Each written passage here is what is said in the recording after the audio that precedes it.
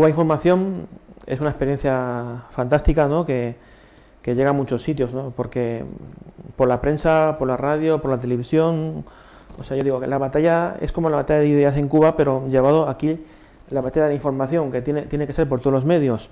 O sea, tenemos que ganar más compañeros en la lucha, ¿no?